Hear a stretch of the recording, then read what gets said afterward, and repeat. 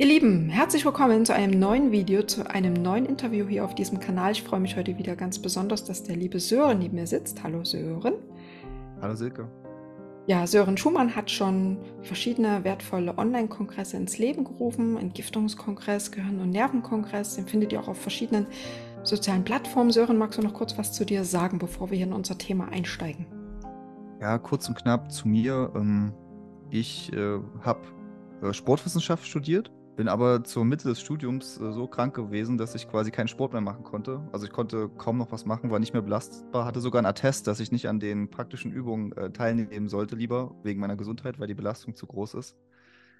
Und dann ging bei mir so die gesundheitliche Reise los. Also war dann bei äh, Dutzenden von Ärzten, alle haben gesagt, ich habe entweder nichts oder es ist psychisch bedingt oder es ist Einbildung. Und äh, so bin ich dann irgendwann auf die Ursachensuche gegangen. Und so kam ich dann auch zu Themen wie Ernährung, ähm, Nahrungsergänzung, Entgiftung, Parasiten und so weiter und so fort. Und äh, so ist jetzt wahrscheinlich auch dazu gekommen, dass wir in Kontakt gekommen sind ähm, und äh, jetzt auch dieses Video aufnehmen. Ich habe ja auch, genau, ich habe in Leipzig studiert und du wohnst ja auch in Leipzig, da haben wir uns äh, dann auch getroffen.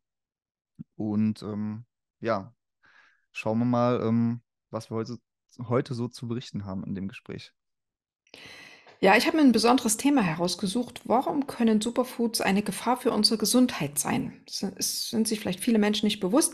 Ich erinnere mich gerade an meine Anfangszeit hier auf YouTube. Da habe ich die Vielfalt der pflanzlichen Rohkost aufgezeigt, in zwei Teilen, was man alles so in der veganen Rohkost essen könnte. Und da waren natürlich auch viele Superfoods aus aller Welt dabei. Kakao in verschiedenen Varianten, Goji-Beeren, Paranüsse und so weiter und so fort. Und wir tauschen uns ja schon seit einer Weile aus über das Thema Entgiftung und auch Schadstoffe. Und da hast du mir einige Sachen berichtet, wo ich dachte, okay, das wissen, glaube ich, viele Menschen nicht. Viele denken, sie kaufen sich jetzt hier Bio-Superfoods und tun ihre Gesundheit dabei etwas Gutes und dabei wären gewisse Dinge, sind nicht bewusst, also viele Menschen sind sich gar nicht bewusst, dass auch diese Superfoods auch in Bioqualität trotzdem belastet sein können. Und da würde ich gerne heute mit dir drüber sprechen, weil du dich schon ein bisschen mehr damit auseinandergesetzt hast und du, du mir immer mal davon erzählt hast. Und genau, mhm. ich würde gleich mal an dich abgeben. Was sagst du zu dieser Thematik? Können Superfoods unsere Gesundheit gefährden? Ja, auf jeden Fall können sie. Ähm, das ist natürlich die Frage, wie definiert man Superfood? Weil ein Superfood, was die Gesundheit gefährdet, ist ja dann kein, äh, kein Superfood mehr. Aber das, was so offiziell als Superfood bezeichnet wird, kann ähm, in konventioneller Qualität auf jeden Fall und aber auch in Bioqualität, wie wir später auch sehen werden, ähm, ja, unsere Gesundheit, unsere Gesundheit gefährden, weil die teilweise mit sehr vielen äh, ja, toxischen Substanzen belastet sind. Zum Beispiel ähm, Mineralöle oder verschiedene Pers Pestizide, Herbizide, Fungizide, ähm, die auch teilweise in Bio-Lebensmitteln, also in Bio-Superfoods nachgewiesen werden. Problematisch ist es besonders bei Produkten, die von außerhalb der EU kommen, also zum Beispiel aus Asien oder Südamerika, weil ähm, ja, dort werden halt auch Substanzen eingesetzt, auf, auf die weder dort noch dann hier, also die Sachen werden ja auch teilweise quasi dann nochmal in Deutschland getestet, wenn die hier in den Verkehr gebracht werden, ähm, ja, auf, auf die dann nicht getestet wird, weil teilweise Substanzen auch verwendet werden, wo vielleicht hier die Prüfstelle gar nicht weiß, dass diese überhaupt existieren. Ähm, ein Beispiel davon ist zum Beispiel Paraquat. Das ist auch so ein, ja, eine chemische Substanz, ein, ähm, ein Pestizid, was auch anscheinend in der Biolandwirtschaft verwendet wird, aber was ähm, ja auch für den Menschen sehr, sehr gesundheitsschädliche Wirkungen hat. Und ähm, ja, dann kann vielleicht noch dazu kommen, dass vielleicht, sage ich mal, die Anforderungen äh, niedriger sind, gerade bei, wenn es halt nur ein EU-Biosiegel ist oder auch, dass vielleicht auch Böden äh, einfach generell mehr belastet sind, wie zum Beispiel in Indien haben wir viele Böden, die eher mit Blei belastet sind. Und äh, ja, so kann dann eins zum anderen kommen.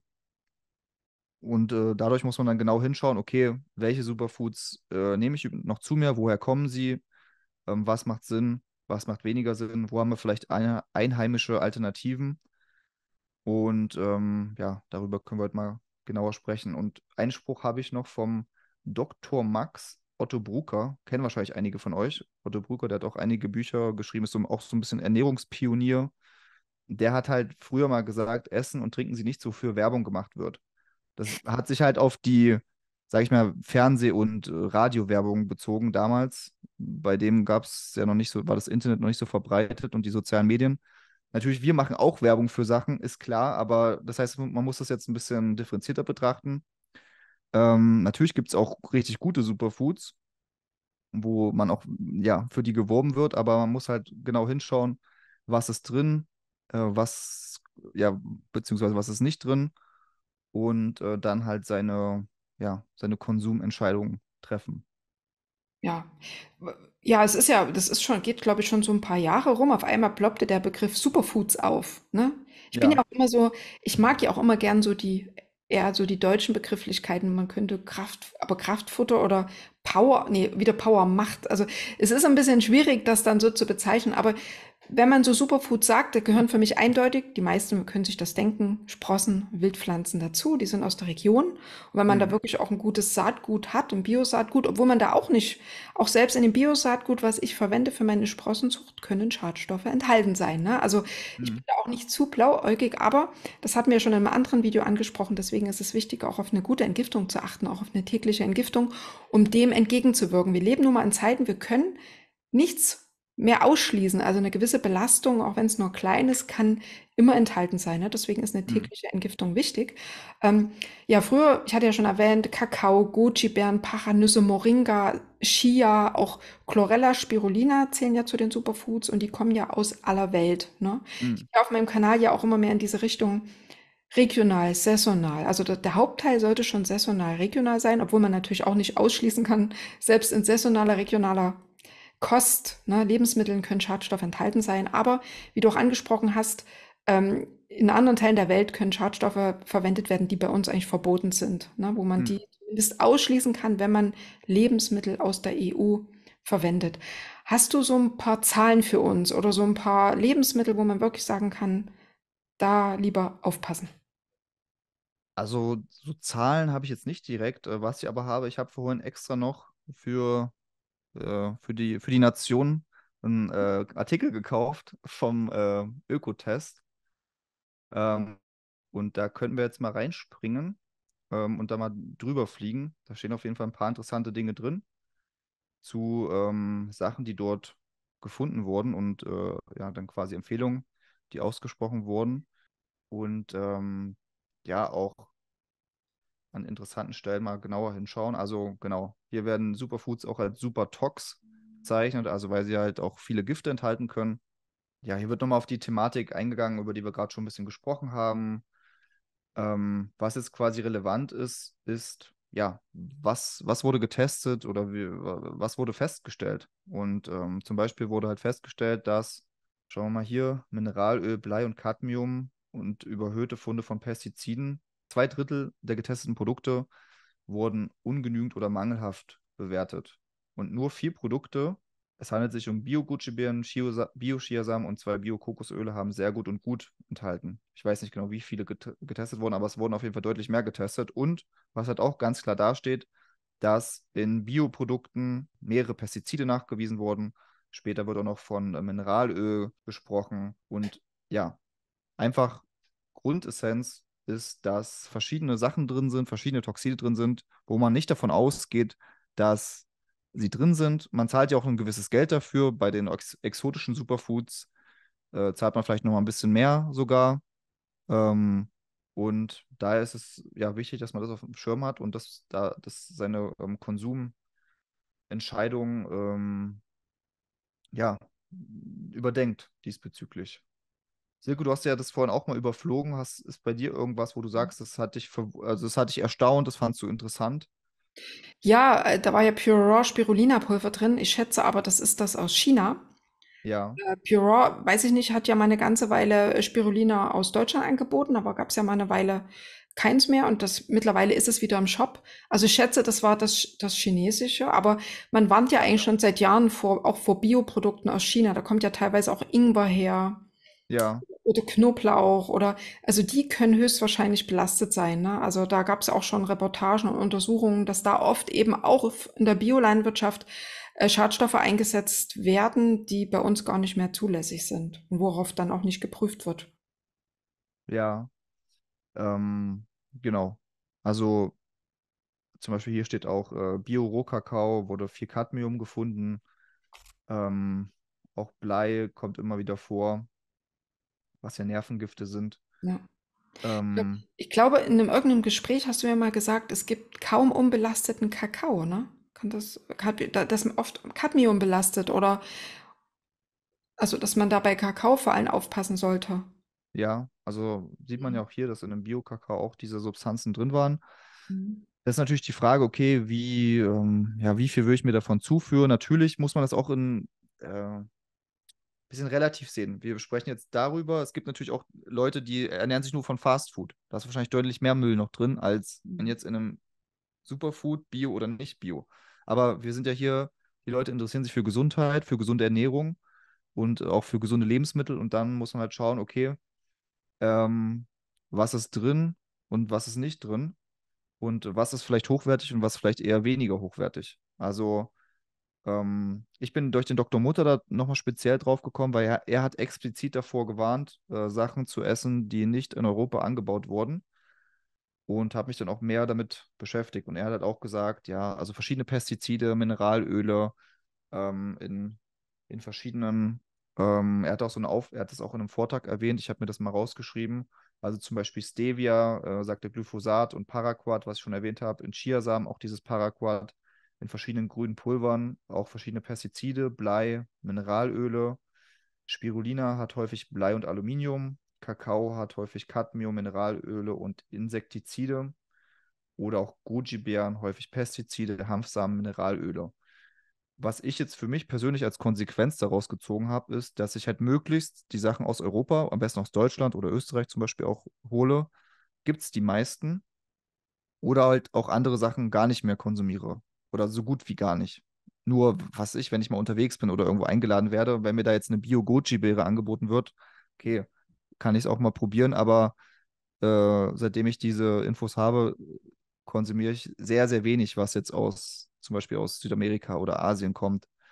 Ähm, ja, ich weiß nicht, Silke, wie sieht wie sieht's bei dir aus? Gibt's, ähm, oder welche, was, was hat jetzt auch nochmal diese, dieser Bericht äh, bei dir bewirkt in deiner, in deinem Also ich, ja, ich, ich, ich habe durch den Bericht gemerkt, ich bin auf einem guten Weg, ne? Weil ich Ja, ja schon auch regional und Europa bevorzuge, also eher so den mitteleuropäischen Raum oder wenn auch mal Frankreich, Italien, Spanien, Griechenland bei gewissen Produkten ist auch in Ordnung, aber dass der Produktekonsum außerhalb Europa sehr gering ist, außer vielleicht so bei Kakao, Rum, Kakaopulver, das gibt es nicht in der EU. Kakao kommt entweder aus Afrika oder Mittel- und Südamerika, ne? ja, Chia kommt auch eigentlich nur aus Südamerika, wenn ich mich recht erinnere. Auch Moringa, ja. Ja, Afrika. Ich weiß, da gibt es auch Kooperationen. Man muss halt schauen. Es gibt ja, natürlich auch weltweit Permakulturen, gewisse Kooperationen in der Permakultur, wo wirklich, man muss halt einfach schauen, man muss einfach gucken, mit was man resoniert. Vielleicht bei den Firmen auch mal nachfragen, woher die das ja, beziehen, ob sie glaubhaft versichern können, dass da bewusst keine Pestizide eingesetzt werden, dass wirklich Permakultur ist oder dass sie das regelmäßig prüfen. Also wir wollen jetzt hier auch nichts schlecht machen. Wir wollen einfach nur Impulse setzen. Wir wollen auch keine Angst machen. Wir wollen einfach, wenn ihr euch für gesunde Ernährung äh, interessiert, dass, dass ihr euch einfach bewusst macht, dass das, dass Schadstoffe in den Superfoods drin sein können und dass, ja, genau, und dass wir euch einfach das zur Verfügung stellen, diese Infos, und dass ihr einfach schaut, was macht ihr damit? ja. Was Ja. ich auch, also was mich auch nochmal überrascht hat, ich, äh, ähm, ich kannte quasi nur den kostenlosen Artikel bisher auf der Internetseite. Und als ich mir das heute geschaut, äh, angeschaut habe, hier sind jetzt nochmal zum Beispiel nur, nur die Bioprodukte aufgelistet. Und da sind ja wirklich einige, die wahrscheinlich auch der Zuschauer schon regelmäßig mal konsumiert hat, auch von bekannten Firmen. Mhm. Äh, die dann äh, mehrfach als ungenügend eingestuft wurden aufgrund von äh, ja, Pestizidbelastung. Wen das jetzt genau interessiert, der kann das ja einfach mal, gibt einfach ein bei Google hier äh, Superfood, Supertox, dann wird er den Artikel finden und kann sich das nochmal genauer zu Gemüte führen. Ähm, ich fand es persönlich sehr spannend und habe auch, also als Konsequenz mache das so wie du, dass ich sage, hey, ähm, das, was ich von hier bekomme oder von möglichst nah dran, das beziehe ich von hier. Und bei anderen Sachen, die einfach nicht hier angebaut werden können, da schaue ich dann halt genau nach, okay, ähm, ja, was ist jetzt vielleicht die beste Quelle dafür? Und ansonsten mache ich auch sehr viel gern mit, ähm, ja, einfach heimischen Superfoods, wie zum Beispiel, oder europäischen Superfoods, wie zum Beispiel Wildheidelbeerpulver, finde ich zum Beispiel super. Oder mhm. Wild, die Wildkräuter hast du angesprochen, Sprossen. Ich nutze auch gern fermentierte Sachen aus fermentierten Gemüsekräutern. Und ähm, ja, gerade bei, also bei, und bei den Sachen, die jetzt tendenziell problematisch sind, da kann man ja auch zum Beispiel die Anbieter ähm, sich aussuchen oder halt auch mal äh, Zertifikate anfordern und mhm. fragen, ähm, ja, wie es diesbezüglich aussieht. Und zum Beispiel bei, also einige Sachen, wie zum Beispiel Hanfsamen, gibt es halt aus China, aber gibt es auch für etwas wenige Euro mehr, gibt es die auch aus Deutschland oder Frankreich oder Österreich. Was Litauen. So? Litauen. Litauen. Da habe genau, ich. Genau, was sehe ich, was sehe ich hier noch auf der Liste? Ob man jetzt wirklich so Sachen braucht wie Goji oder Acai-Beeren, werden sie, glaube ich, ausgesprochen. Ich denke nicht unbedingt. Da haben wir auch unsere heimischen Beeren, die schmecken eigentlich mindestens genauso gut und da ist auch, sind sehr viele gute Sachen drin. So Sachen wie Moringa, okay, gibt es nicht hier, aber wenn man, da kann ich mir schon vorstellen, wenn es wirklich eine richtig gute Quelle gibt, dass das dann auch einen guten Nutzen haben kann. Mhm. Langfristig. Ähm, oder zum Beispiel bei Weizengras oder Gerstengrassaftpulver, das nutzen wir beide ja auch gern. Da nehmen wir zum Beispiel das von Lebenskraft pur. Da habe ich auch ein gutes Gefühl. Ähm, das wird ja auch auf einem speziellen äh, Boden in den USA angebaut. Also auf so einem, was ich unbedingt noch hinzufügen möchte, entschuldige, dass ich störe, die haben ja auch Lebensmittelüberprüfer, also die, ich glaube vier ja. oder fünf, die wirklich alle Inhaltsstoffe, ob es jetzt Mischungen sind oder einzelne jetzt im Grassaft, das wird alles untersucht. Ich weiß zwar jetzt nicht auf wie viele, aber die, die kontrollieren jeden einzelnen Inhaltsstoff. Jedes Mal, ja. jede Charge. Und da kann man vielleicht, gut, dann bezahlt man vielleicht ein bisschen mehr, aber man hat die Gewissheit, dass zumindest da schon genauer hingeguckt wird, auch wenn man nicht zu 100 Prozent ausschließen kann. Und ich kann mich ja. erinnern, ich hatte ja ein Video gemacht im Frühjahr mit dem Fabian von Lebenskraft Pur, die haben auch das Wildkräuterpulver.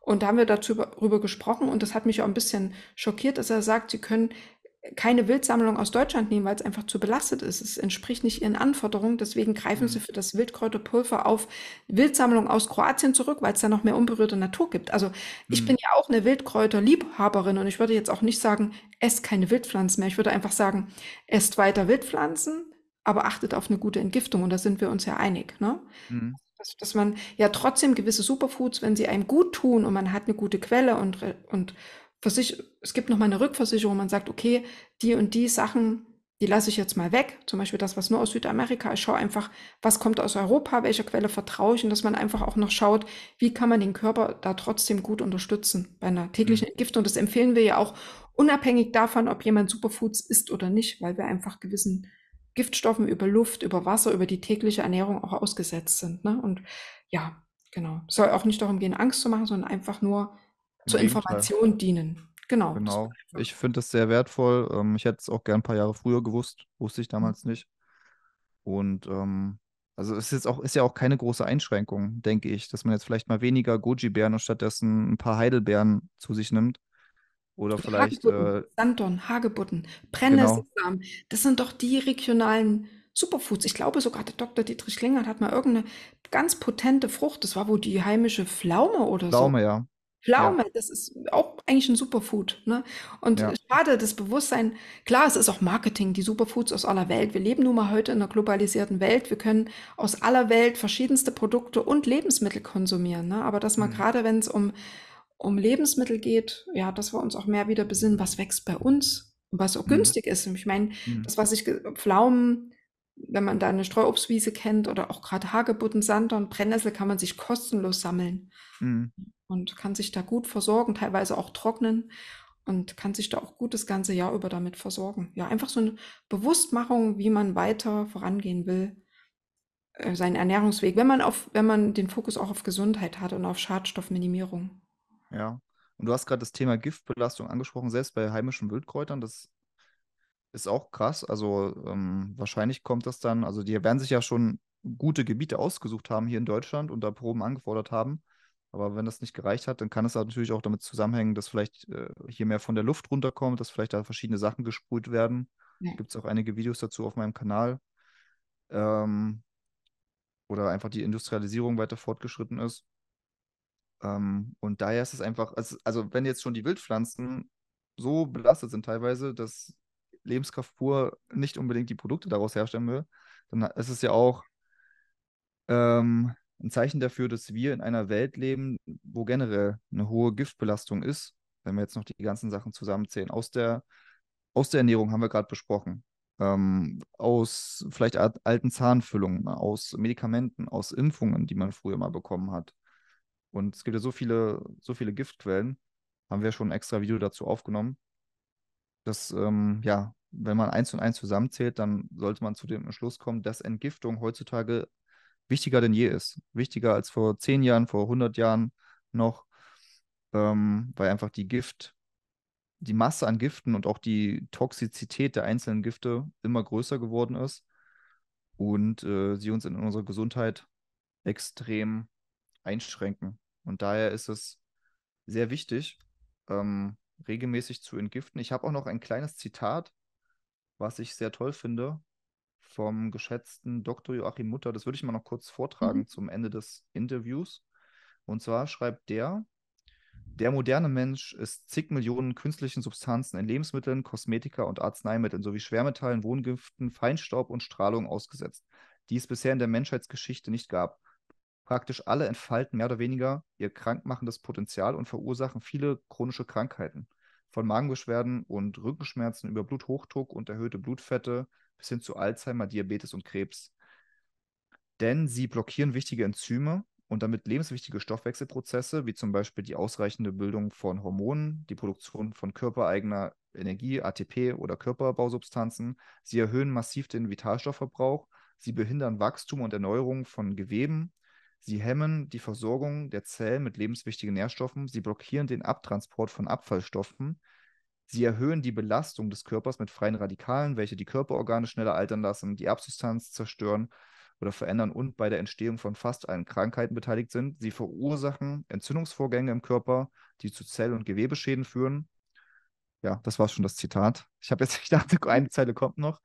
Ähm, genau, finde ich sehr gut ausgedrückt, wo, also er schreibt quasi einmal erstens, dass wir in einer ganz anderen Welt leben und zweitens, was körperlich passiert, wie Gifte da ansetzen, ursächlich als, als ein Hauptfaktor, dass dann einfach verschiedene Dinge im Körper nicht mehr normal ablaufen und sich daraus halt Symptome entwickeln.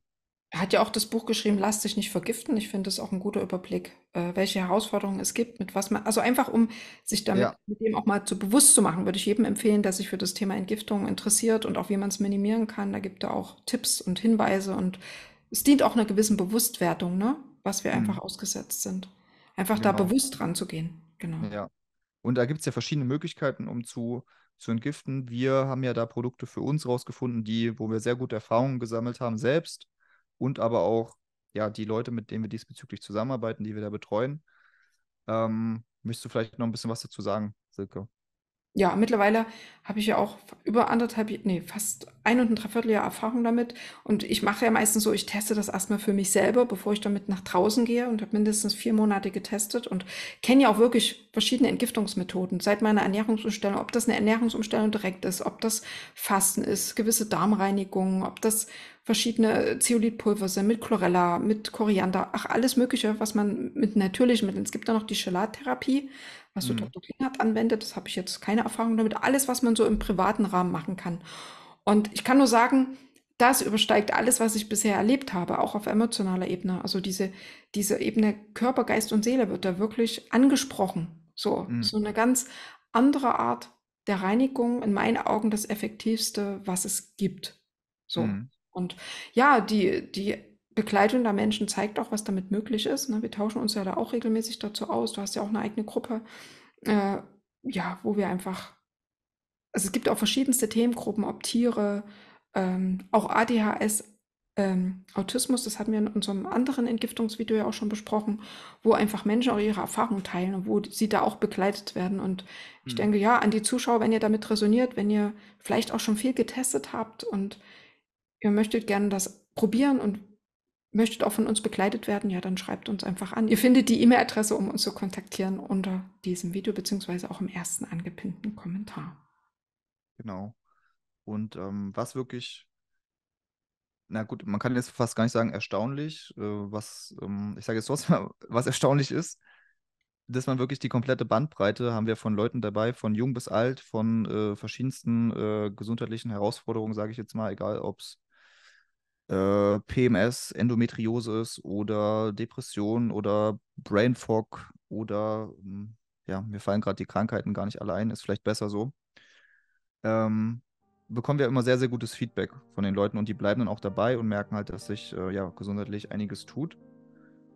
Und äh, genau, wie Silke schon gesagt hat, wenn ihr da Interesse habt, wir haben da auch Telegram-Gruppen, wo wir äh, die Leute kostenlos betreuen. Wenn ihr da weitere Infos dazu wollt, dann ähm, schreibt einfach eine E-Mail an den an die E-Mail-Adresse, die in der Videobeschreibung oder in dem Kommentar ist. Mhm. Und genau, ähm, ich denke, dann äh, sind wir soweit durch, oder? Ja, ich danke dir wieder sehr für deine Expertise, liebe Sören. Hat wieder sehr viel Freude gemacht. Ich hoffe, wir konnten wertvolle Impulse nach draußen geben. Ja, danke auch für deine äh, Expertise. Und ähm, ja, bis zum nächsten Mal. Ja. Lasst euch gut gehen. Bis bald, ihr Lieben. Tschüss.